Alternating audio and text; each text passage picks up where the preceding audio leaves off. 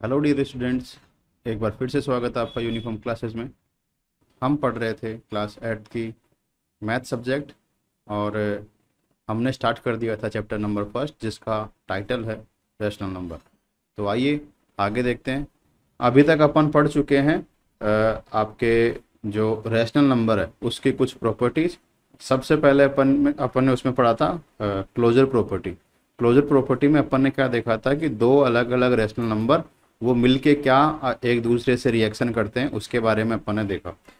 आज उसके बाद में हमने देखा कि क्लोजर प्रॉपर्टी के बाद में दो रैशनल नंबर उनका अगर हम जगह चेंज करते हैं इंटरचेंज करते हैं उनकी लोकेशन तो क्या फ़र्क पड़ता है उनकी जो रिएक्शन जो हो रही थी, जो अपन सब कर रहे थे ऐड कर रहे थे मल्टीप्लाई और डिवीज़न जो कर रहे थे तो उसमें क्या इफ़ेक्ट पड़ रहा था, उसको बोलते हैं आप ये था आपका commutative property of rational numbers okay उसके बाद में आता है एक लास्ट जो प्रॉपर्टी है, वो है एसोसिएटिव प्रॉपर्टी देखो, अभी मेरे पास दो फ्रेंड थे। इधर है ए और बी अब देखो, इन फ्रेंड के साथ में एक फ्रेंड और आता है और उसका नाम है सी अब मुझे आप बताओ, जब कुछ टाइम निकलेगा, जैसे सेवन्थ क्लास साथ में पढ़े एट्थ क्लास साथ में पढ़े नाइन्थ क्लास साथ में पढ़े तो क्या तीनों के व्यवहार एक दूसरे से सेम होंगे? या फिर किसी का किसी से ज़्यादा और किसी का किसी से कम व्यवहार होता चला जाएगा। मतलब ट्यूनिंग की बात है जैसे इसको इस तरह से समझो आप कि ए जो है इसकी ज़्यादा बनती है किससे? सी से। इसकी ज़्यादा बनती है सी से। एक एक बार ये लेकिन ये ग्रुप है ये पूरा ग्रुप है एक बार एक ही बन रही है सी से ज़्यादा। और ऐसे ही अगर मैं इस ग्रुप को आगे देखूँ एक कंडीशन ये बन सकती है कि सी की बी से ज़्यादा बन रही है। है तो ग्रुप में लेकिन अभी देखो इस ग्रुप में अगर आप ए को देखोगे सेकंड सिचुएशन में ए आइसोलेट हो गया और फ़र्स्ट सिचुएशन में बी आइसोलेट हो गया। है तो बेटा ग्रुप है लेकिन दोनों में अगर मैंने दोनों की जगह चेंज कर दी यानी दोनों की रिलेशन चेंज कर दिए तो बेटा होता क्या है?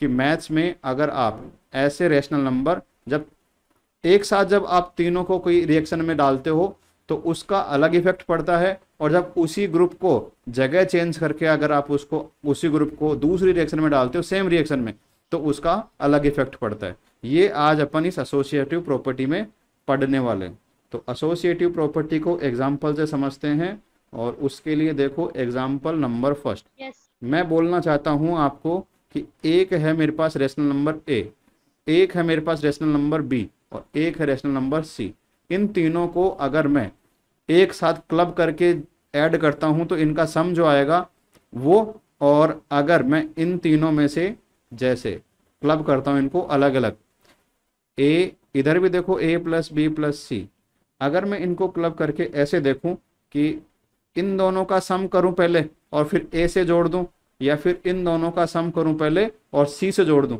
तो क्या इन इस रिएक्शन में L H S equals R H S आएगा कि नहीं आएगा? आएगा।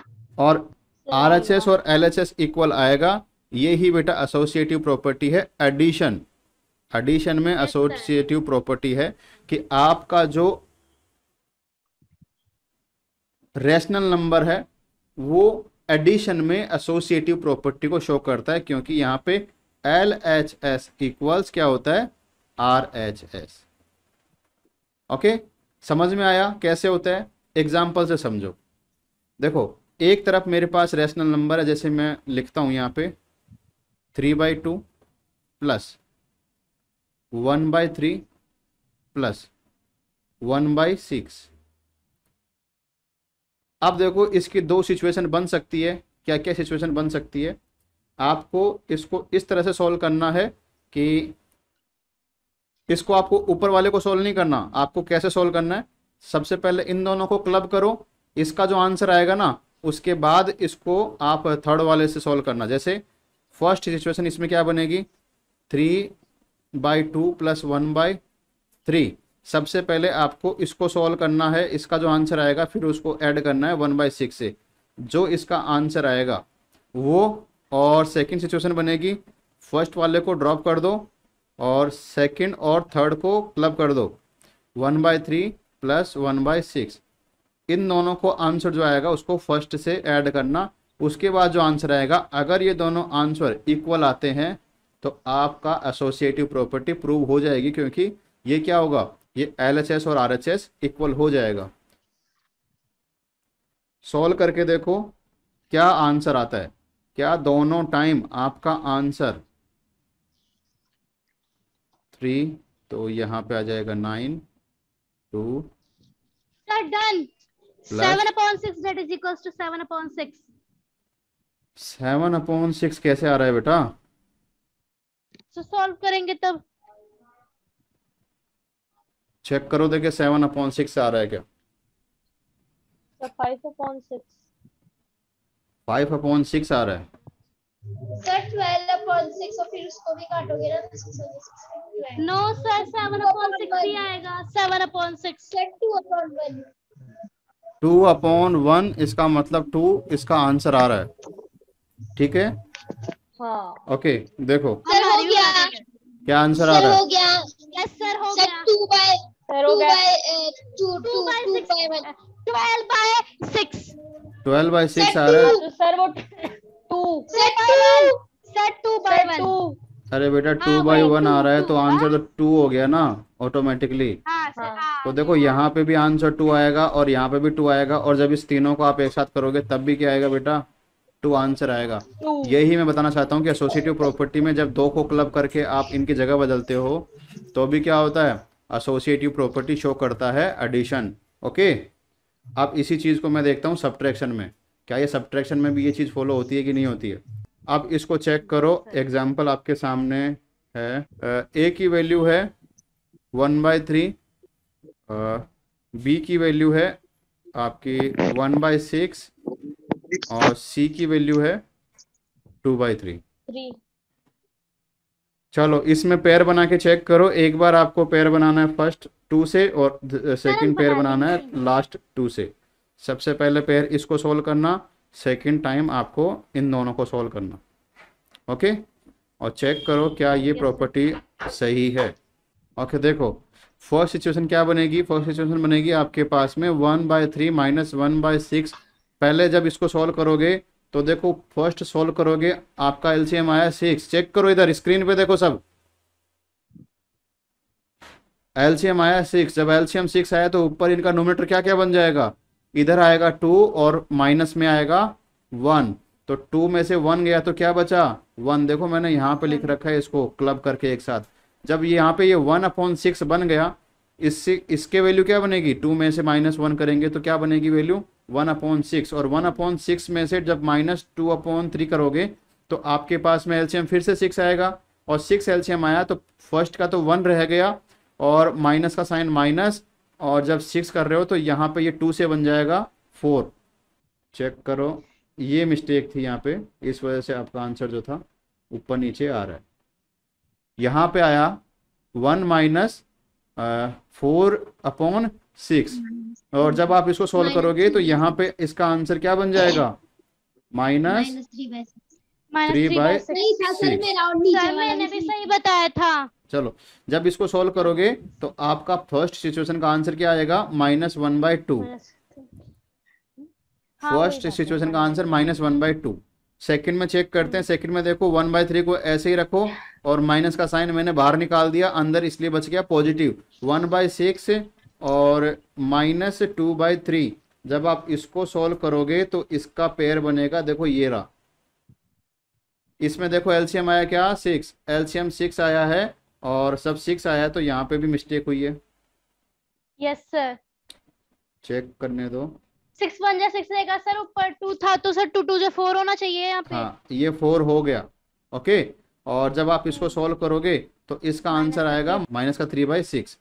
इसके बाद में आप जब इसको आगे देखोगे तो वन बाय थ्री और माइनस ऑलरेडी साइन है और माइनस अपने पास आया तो माइनस माइनस क्या हो जाएगा? Is equal to plus. Plus हो जाएगा। कैसे हुआ? यहाँ पे देखो इसका जो आंसर ये देखो ये जो स्टेप थी ना इसका आंसर क्या बनेगा? ये स्टेप ऐसे बनेगी वन बाई थ्री माइनस और ये आएगा माइनस थ्री बाई सिक्स तो ये माइनस माइनस क्या हो जाएगा? प्लस हो जाएगा और यहाँ पे बनेगी सिचुएशन क्या? अ, आपकी सिक्स एलसीएम और वन बाई ये जो है ये प्लस हो गया बीच में इनके. अब देखो सिक्स एलसीएम आया तो थ्री का सिक्स बनाने के लिए टू से मल्टीप्लाई करना पड़ा तो ऊपर भी टू से.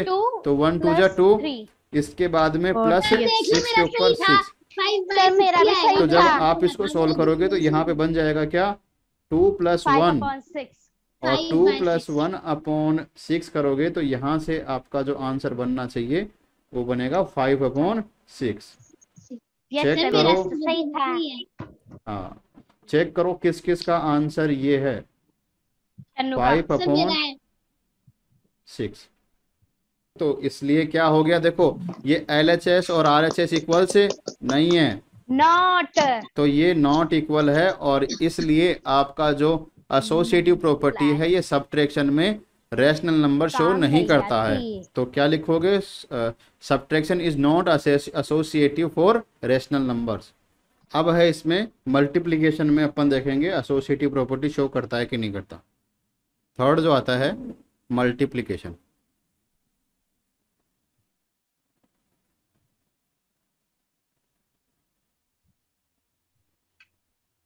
चेक करते हैं। अपने पास जो सिचुएशन है क्या बनेगी? सिचुएशन देखो इस तरह से बनेगी। A A multiply B multiply C box बनाओगे तो पहला जो बॉक्स बनेगा equals A plus B A multiply B multiply C पहला जो बॉक्स बनाओगे वो बनेगा ए प्लस बी सेकेंड बनेगा B plus B multiply C। C क्या ये इक्वल हाँ। है? अगर ये इक्वल है तो अपना एसोसिएटिव प्रॉपर्टी शो करेगा। आंसर देखो चेक करेंगे अपन एग्ज़ाम्पल से। और एग्ज़ाम्पल आपके सामने है two by three multiply nine by four multiply आपका यहाँ पे आ जाएगा। ट्वेल्व बाई फोर चेक करो इसको क्या ये मल्टीप्लिकेशन में एसोसिएटिव प्रॉपर्टी शो करता है कि नहीं करता? सबसे पहले आपको बनाना है एक पेयर यस सर ये वाला सेकंड बनाना है ये वाला पेयर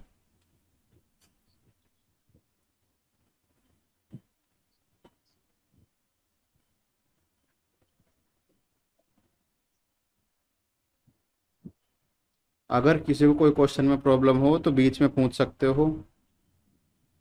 शर्माने की या घबराने की ज़रूरत नहीं है? Nine by two nine by two first situation या सेकंड सिचुएशन फ़र्स्ट चेक करते हैं। फ़र्स्ट सिचुएशन देखो सॉल्व करते हैं। टू बाई थ्री मल्टीप्लाई हाँ हाँ करो। मैं थोड़ी ना बोल रहा हूँ बेटा मैं थोड़ी ना रोक रहा हूँ आपको। मैं तो यहाँ पे मेरे हिसाब से चेक कर रहा हूँ।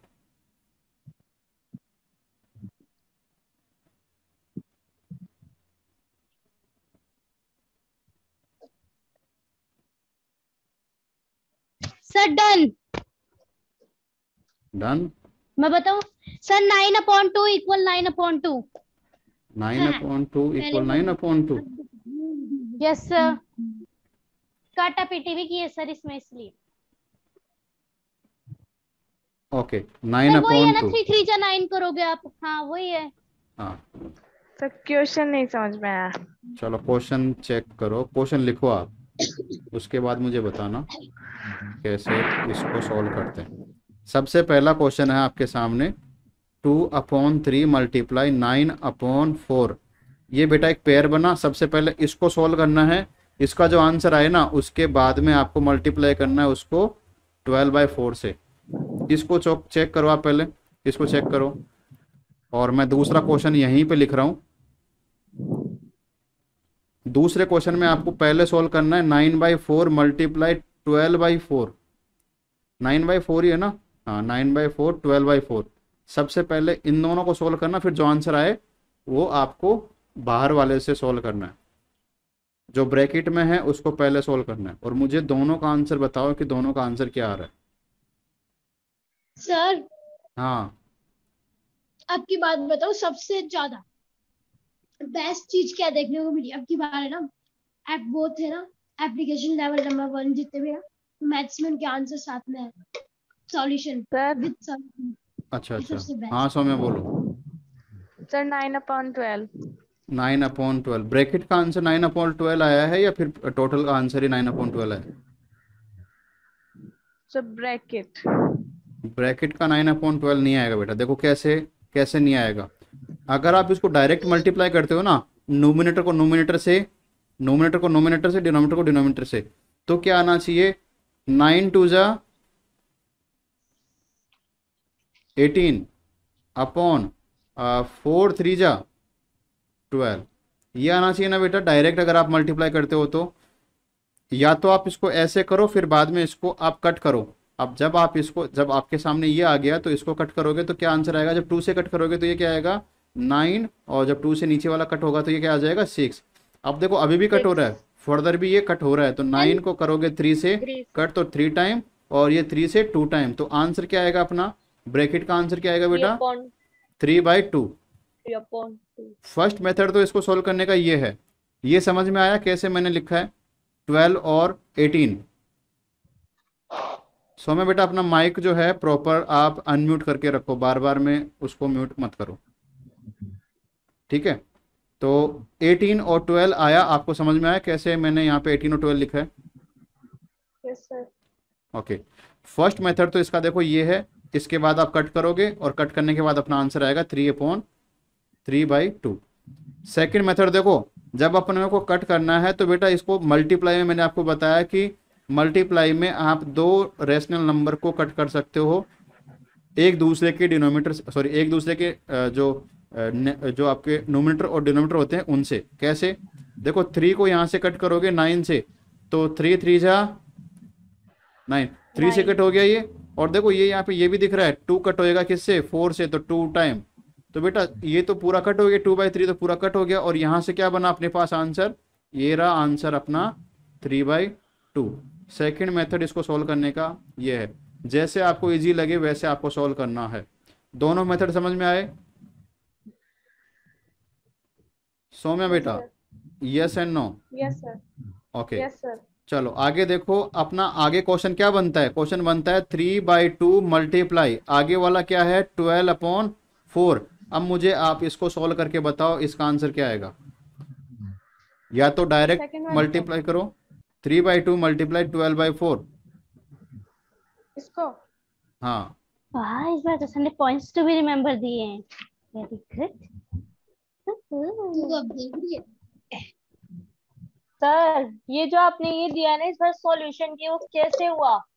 वो अच्छी चीज़ तो हाँ सौम्या बेटा बॉक्स का आंसर क्या आया? Sir six six only six आया? Six six upon one six upon one चलो चेक करते हैं।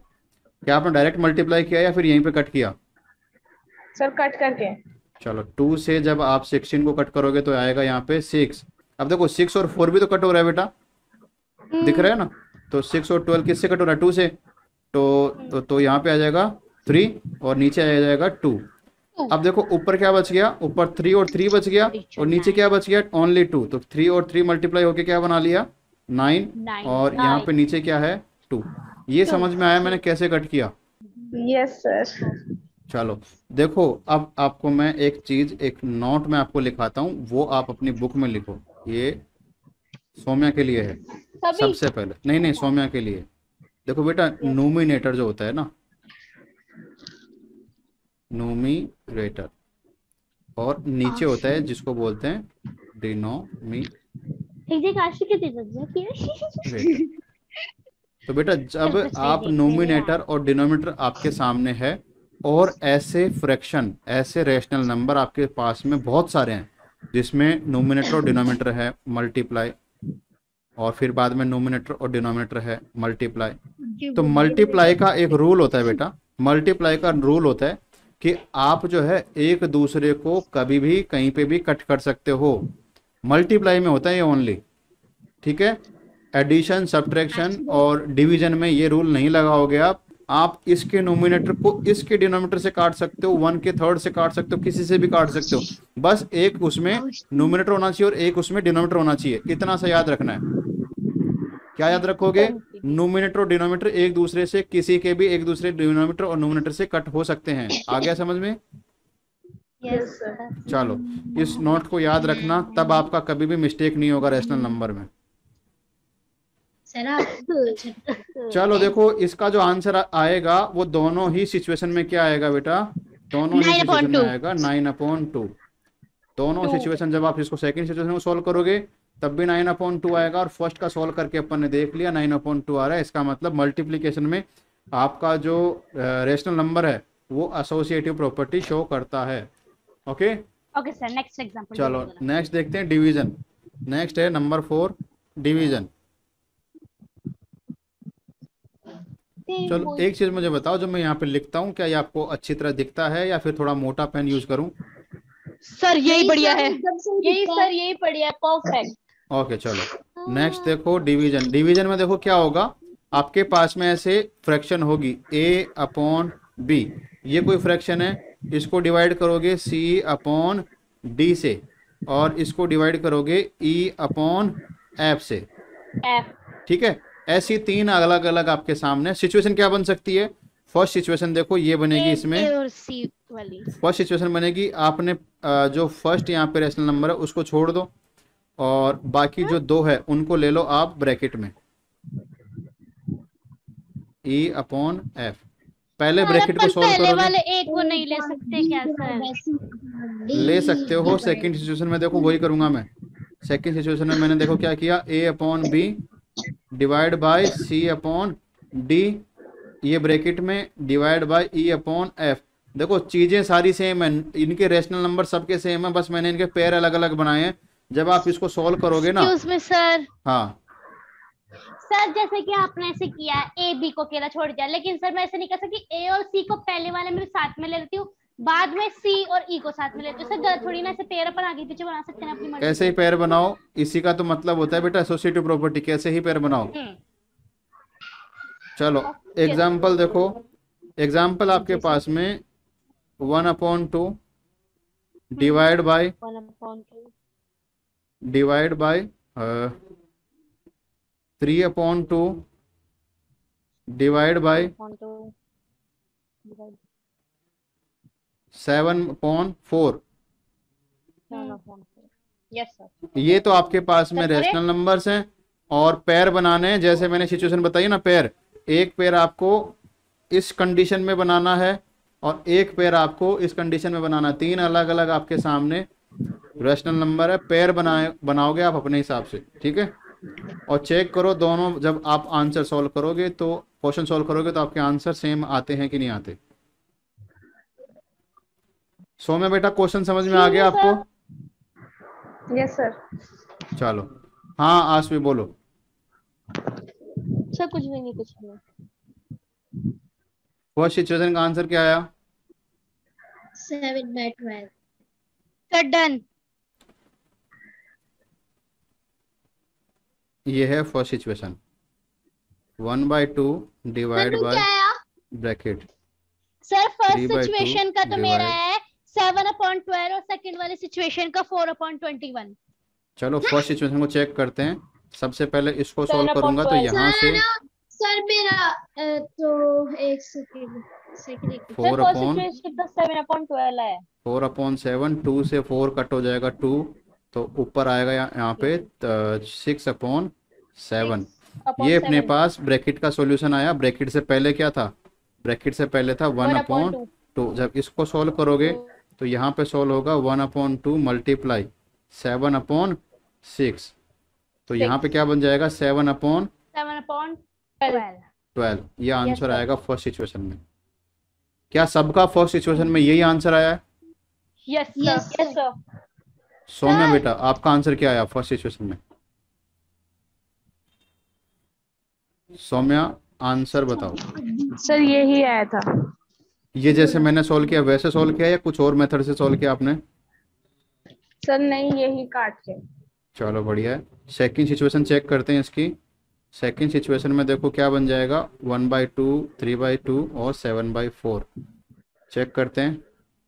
One by two divide by three by two divide by seven by four seven by four इसमें pair बनाना है पहले फ़र्स्ट का। तो फ़र्स्ट का पेयर जब आप सोल्व करोगे तो यहाँ पे आएगा क्या? One by two multiply two by three two से टू कैंसिल तो अपना आंसर क्या है यहाँ से? आंसर आया वन बाई थ्री और डिवाइड बाय करना है अपने को सेवन अपॉन फोर इसको सोल्व करोगे. आगे। One upon three multiply four upon upon तो four upon twenty one four 21. Upon twenty one क्या यही सबका आंसर आया? यस सर है। ओके सोमे बेटा आपका भी यही आया? आपका। बेटा सबके साथ में आप आंसर का रिप्लाई किया करो जिससे क्या मेरे को पता लगता रहे कि हाँ आपको सबको समझ में आ रहा है ठीक है? चलो देखो फोर अपॉन ट्वेंटी वन और सेवन अपॉन ट्वेल्व दोनों आंसर अलग अलग है। इसका मतलब आपका ये जो इक्वेशन है ये इक्वेशन एक दूसरे को फॉलो नहीं कर रही है। नहीं इसका नहीं। मतलब आपका जो डिवीज़न जो है ये एसोसिएटिव प्रॉपर्टी शो नहीं करता है। किसमें? रेशनल नंबर्स में। ओके देखो देखो मेरी बात सुनो। यहाँ पे अपना जो ये चैप्टर का जो प्रॉपर्टीज़ है ये सारी प्रॉपर्टीज़ पूरी कंप्लीट होती है। इसके साथ ही मैं आपको कुछ कुछ एडिशन यहाँ पे दिखाता हूँ। एक बार को हाँ। अपनी अपनी बुक ओपन करो और बुक में बेटा एक टेबल दे रखी है मैंने। प्रॉपर्टीज़ ऑफ़ रेशनल नंबर्स नाम से ये रही। देखो इसमें आपके काम की चीज़ क्या है? पहले वो देखो। यहाँ पे अपने काम की चीज़ ओनली इस चैप्टर में अपन ने क्या पढ़ा है? रेशनल नंबर्स की प्रॉपर्टीज़ एडिशन देखा सब्ट्रैक्शन देखा और मल्टीप्लीकेशन देखा और डिवीज़न देखा। रेशनल नंबर की प्रॉपर्टीज़ अपन ने देखी है। सबसे पहली प्रॉपर्टी क्लोज प्रॉपर्टी देखी अपन ने। क्लोजर प्रॉपर्टी अपन ने देखी। तो क्लोजर प्रॉपर्टी जो था एडिशन में ये क्लोजर प्रॉपर्टी के अंडर में था। सब्ट्रैक्शन में भी था। और हाँ। मल्टीप्लिकेशन में भी था लेकिन डिवीज़न में ये क्लोज प्रॉपर्टी में नहीं था। नहीं था। ठीक है इसमें आपको सिर्फ़ टेबल में अभी ये चेक करना है। उसके बाद सेकंड अपन ने देखी थी कम्यूटेटिव प्रॉपर्टी और कम्यूटेटिव प्रॉपर्टी में अपन चार देखे एडिशन सब्ट्रैक्शन मल्टीप्लीकेशन और डिवीज़न रेशनल नंबर की बात करें तो कम्यूटेटिव प्रॉपर्टी में आपका एडिशन था। लेकिन हाँ, सब्ट्रैक्शन नहीं था। नहीं था। डिवीज़न फिर से था और ये सॉरी मल्टीप्लीकेशन था लेकिन डिवीज़न नहीं था। नहीं अभी नहीं अपन ने देखा एसोसिएटिव प्रॉपर्टी अभी जस्ट अपन पढ़ के आई हैं एडिशन सब्ट्रैक्शन मल्टीप्लिकेशन और डिवीज़न रेशनल नंबर में अभी अभी अपन ने देखा कि अपना एडिशन जो है ये एसोसिएटिव प्रॉपर्टी शो करता है। लेकिन सब ये जो सब्ट्रैक्शन जो है ये शो नहीं करता है। मल्टीप्लीकेशन आपका एसोसिएटिव प्रॉपर्टी शो करता है। जस्ट अभी आंसर जो मैंने बताया उसके हिसाब से आपका डिवीज़न जो है ये एसोसिएटिव प्रॉपर्टी रेशनल नंबर में शो नहीं करता है। तो ये टेबल में सिर्फ़ आपको रेशनल नंबर की बात बताई गई है इसके अलावा। ये समझ में आया ना टेबल का मतलब क्या था? हम्म यस सर किसी को डाउट है इस टेबल से? सर ये लाइन समझ में नहीं आई क्लोजर प्रॉपर्टी है ना? हाँ हाँ। ना ऐसे दे रखा है कि सब्ट्रैक्शन वाले जो होल नंबर है ना उसमें not closed under subtraction but है ना रेशनल नंबर में ऐसे दे रखा है। मैं क्या बोल रहा हूँ? आपको सिर्फ़ ये ये बॉक्स देखना है। आपको रेशनल नंबर का बॉक्स देखना है ओनली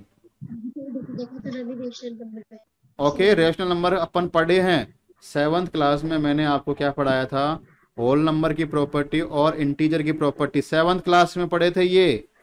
तो ये Yes, बातें जो यहाँ पे रिपीट हो रही है ये भी आपको देखना है कि होल नंबर जो होते हैं ना ये एडिशन में क्लोज प्रॉपर्टी शो करते हैं सब्ट्रैक्शन में नहीं करते हैं होल नहीं नंबर हैं। और ये मल्टीप्लीकेशन में करते हैं डिवीज़न में करते हैं। नहीं करते हैं। नहीं तो बेटा ये अलग अलग नंबर्स के अलग अलग प्रॉपर्टीज़ हैं। रिपीट हो रहा है ओनली ठीक है? इंटीजर में देखो क्लोज प्रॉपर्टी एडिशन में था और इसमें सब्ट्रैक्शन में भी था मल्टीप्लीकेशन में भी था लेकिन डिवीज़न में नहीं था। तो ये कुछ आपके सामने तीन तरह के नंबर्स जो थे उसके बारे में बताया गया है। इस चैप्टर में अपन ने सिर्फ़ नेशनल नंबर के बारे में पढ़ा है। रिवीजन अगर आपको करना है सेवन्थ क्लास का तो आप ये होल नंबर और इंटीजर की प्रॉपर्टी को लगा लगा के चेक करना क्या ये बात सही है लिखी हुई है कि नहीं लिखी हुई है। ओके तो ये देखो तीन तरह की प्रॉपर्टी जो मैंने यहाँ पे बताई है ना ये प्रॉपर्टी अपन पिछले क्लास में पढ़ चुके हैं और वही बात यहाँ पे होल नंबर्स और इंटीजर्स में जितने भी प्रॉपर्टीज़ बन सकती थी मैक्सिमम वो यहाँ पे लिखी गई है। आपको चेक ये करना है कि ये जो बातें लिखी है वो सही है कि नहीं है।